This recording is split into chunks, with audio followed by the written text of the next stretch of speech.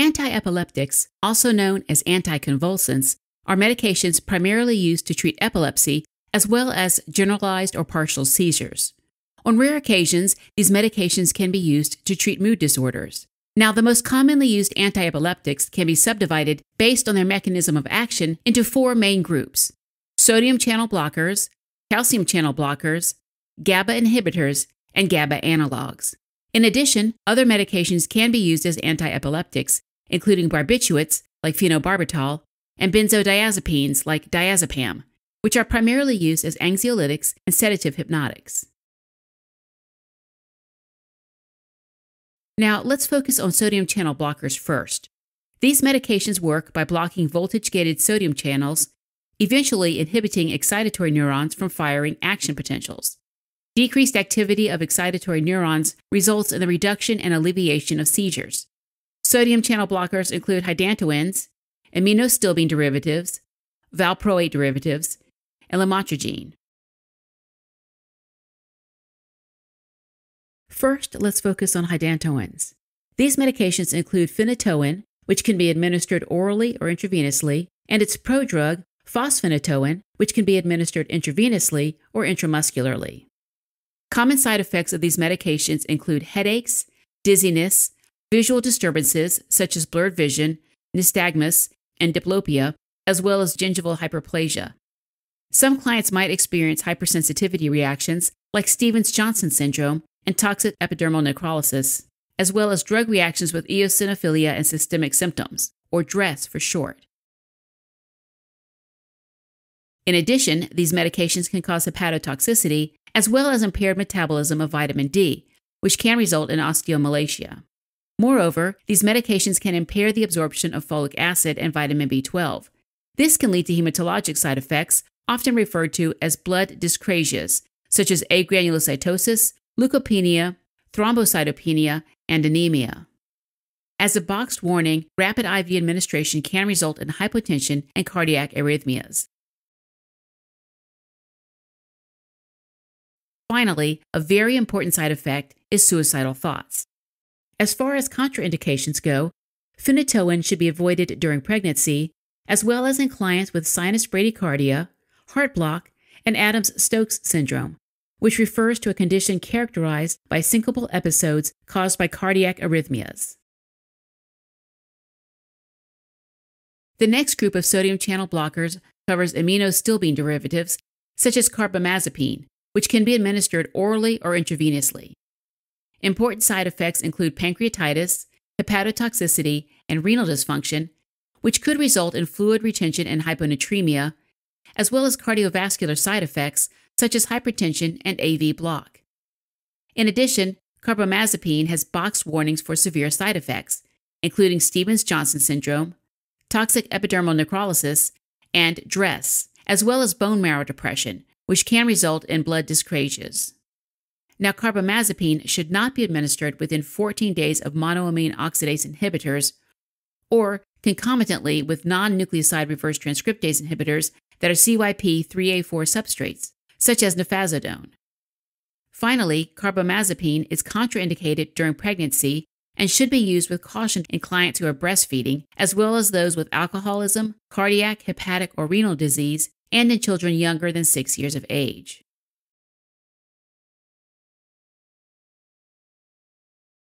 The next group includes valproate derivative forms called valproic acid and sodium valproate, which can be administered orally and intravenously.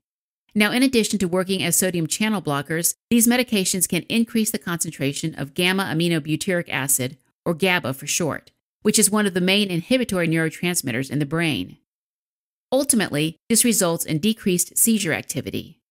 The most common side effects are gastrointestinal problems such as dyspepsia, nausea, vomiting, diarrhea, and constipation. Some clients might also experience hematologic side effects like thrombocytopenia and leukopenia, while others can develop DRESS. In addition, valproate can cause suicidal thoughts as well as central nervous system depression or even coma. Finally, it's important to note that valproate has boxed warnings for pancreatitis and hepatotoxicity, as well as regarding fetal toxicity since valproate may result in congenital malformations, especially neural tube defects. For that reason, valproate is contraindicated during pregnancy. In addition, it should be avoided in clients with urea cycle disorders, mitochondrial disease, or hepatic disease. The last sodium channel blocker is lamotrigine, which is taken orally. The most common side effects include headache, dizziness, and dysmenorrhea. On rare occasions, lamotrigine can also cause more severe side effects, such as suicidal thoughts and hematologic side effects, including disseminated intravascular coagulation, leukopenia, and thrombocytopenia. Also, lamotrigine has a box warning for causing serious and potentially life threatening skin rash, as well as Stevens Johnson syndrome and toxic epidermal necrolysis. Now, lamotrigine must not be stopped abruptly since clients may present with uncontrolled seizures. In addition, this medication should be used with caution during pregnancy and breastfeeding, as well as in clients with severe depression and in clients younger than 16 or the elderly. Finally, precautions should be taken in clients with cardiac disease such as heart failure or conduction disorders like second or third degree heart block, as well as in clients with hepatic or renal disease. The next group of anti epileptics is calcium channel blockers. These medications work by blocking voltage gated calcium channels, subsequently inhibiting excitatory neurons from firing action potentials, and ultimately decreasing seizure activity. First, let's start with succinimides, most specifically ethosuximide, which is taken orally. The most common side effects include gastrointestinal problems such as nausea, vomiting, and diarrhea. Some clients might also complain of headaches, fatigue, and pruritus, while others might even develop blood dyscrasias or hypersensitivity skin reactions like DRESS. Finally, these medications should be used with caution during pregnancy and breastfeeding, as well as in clients with hepatic or renal disease. Another important medication is levetiracetam, which can be administered orally or intravenously. The exact mechanism of action of levetiracetam is not fully understood, but it's thought to act as a calcium channel blocker. Important side effects associated with levetiracetam include suicidal thoughts, Stevens Johnson syndrome, as well as toxic epidermal necrolysis. Some clients can also develop hepatitis. Finally, this medication is contraindicated in clients who are breastfeeding and should be used with caution during pregnancy, as well as in pediatric or elderly clients, and those with cardiac, hepatic, or renal disease. The next group of antiepileptics are GABA inhibitors. The most commonly used medication in this group is vigabatrin, which is taken orally. Once administered, vigabatrin acts on presynaptic neurons by inhibiting the reuptake of GABA, which is an inhibitory neurotransmitter. As a result, there's an increased concentration of free GABA in the synaptic cleft, which helps control the seizure. The most common side effects associated with vigabatrin include dizziness, gastrointestinal problems, weight gain, and edema. Additional side effects include a decrease in hemoglobin and hematocrit, as well as peripheral neuropathy, usually involving toes and feet. Vigabatrin can cause some life threatening side effects, including suicidal thoughts, malignant hyperthermia, respiratory depression, and even pulmonary embolism. In addition, vigabatrin has a box warning for visual impairment. Regarding contraindications, this medication should be used with caution during pregnancy and breastfeeding, as well as in children younger than two years or elderly clients. Finally, precautions should be taken in clients with hepatic or renal disease, as well as in those with a history of psychosis or depression. The last group of antiepileptics are GABA analogs like gabapentin, which can be administered orally. Although the exact mechanism of action is unclear, gabapentin is structurally similar to GABA, so it may exert an inhibitory effect that ultimately helps control the seizure. Unfortunately, this inhibitory effect may cause side effects like depression, amnesia, somnolence, and ataxia.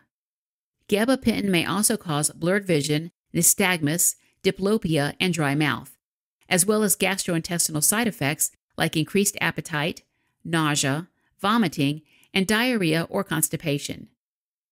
Finally, some clients might experience cough, pruritus, hypersensitivity reactions like DRESS, and may develop leukopenia. Important precautions should be taken during pregnancy and breastfeeding, as well as in children younger than three years old or elderly clients. In addition, gabapentin should be used with caution in clients experiencing suicidal thoughts, depression, and those with renal disease or undergoing hemodialysis. Now, before beginning anti epileptic therapy, review your client's medical record to determine the type of seizures they experience, how often the seizures occur, and how long the seizures typically last. In addition, check their history for conditions such as depression and screen for suicidal thoughts. Then, review the laboratory test results such as CBC, as well as liver and renal function tests. Next, for any client prescribed phenytoin, carbamazepine, or lamotrigine, be sure to review recent diagnostic tests like ECG. And if your client is prescribed vigabatrin, obtain a baseline vision test as well. For clients of childbearing age, confirm a negative pregnancy test and stress the importance of using reliable contraception while taking an anti epileptic medication. Lastly, advise them to wear medical identification to assist diagnosis and treatment by emergency personnel. Be sure to teach your client how anti epileptics will help control their seizures. Stress the importance of taking the medication exactly as prescribed and to never stop taking it abruptly, as this can increase the risk of breakthrough seizures. Let them know that CNS depression can occur, so caution your client against consuming other CNS depressant medications or alcohol, and advise them to avoid activities that require alertness, such as driving, until they adjust to the medication's effects. Next, teach your client about side effects that should be reported to the healthcare provider immediately. Explain how anxiety, agitation, depression, or other changes in their mood or behavior could indicate an increased risk of suicidal behavior, and let them know that liver dysfunction could manifest as symptoms such as anorexia, nausea, vomiting, and fatigue. Also, be sure to describe signs of blood dyscrasias, such as fever, sore throat, pallor, weakness, petechiae, or easy bruising. Lastly, prompt your client to keep a close eye on any changes in their skin, especially if an unusual rash develops. Now, if your client is prescribed phenytoin, teach them how to recognize signs of gingival hyperplasia, such as sore, swollen gums, and explain how performing daily dental hygiene, taking a folic acid supplement, and regular visits to the dentist can decrease the risk. Also, explain how the risk of bone loss can be reduced by increasing dietary calcium and vitamin D, as well as doing weight bearing exercises as tolerated. Lastly, advise your client to report visual disturbances such as blurred vision, nystagmus, or diplopia. If your client is prescribed carbamazepine, instruct them to avoid grapefruit or grapefruit juice in order to decrease the risk of carbamazepine toxicity. Also, teach them to contact their healthcare provider right away if they notice symptoms of pancreatitis, such as upper abdominal pain, nausea and vomiting, or anorexia. In addition, instruct them to report symptoms of water retention and hyponatremia, like swelling, weight gain, headache, muscle weakness, or cramps. Okay, if your client is prescribed vigabatrin, stress the importance of vision checks every three months during therapy and instruct them to report any changes in their vision, such as blurred vision, difficulty controlling eye movements, or vision loss. In addition, teach your client to report symptoms of peripheral neuropathy, such as a feeling of burning or numbness in their toes or feet. Finally, be sure to closely monitor your client for side effects by regularly monitoring your client's mental status, mood, and behavior, as well as CBC, liver, and renal function tests during treatment. Evaluate for therapeutic effects of a decrease in seizure frequency, severity, and duration. All right, as a quick recap, anti epileptics are medications that are used to treat seizures. There are four main classes of anti epileptics sodium channel blockers, calcium channel blockers, GABA inhibitors, and GABA analogs. Sodium channel blockers suppress action potentials by blocking overactive voltage gated sodium channels while calcium channel blockers reduce seizure activity by blocking voltage gated calcium channels.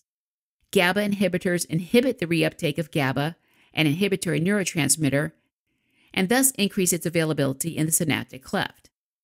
And GABA analogs are structurally similar to GABA. Side effects of antiepileptics include central nervous system depression, hepatotoxicity, blood dyscrasias, and suicidal thoughts. Nursing considerations are focused on assessment before administration, client education about serious side effects, regular monitoring, as well as evaluating the effectiveness of treatment.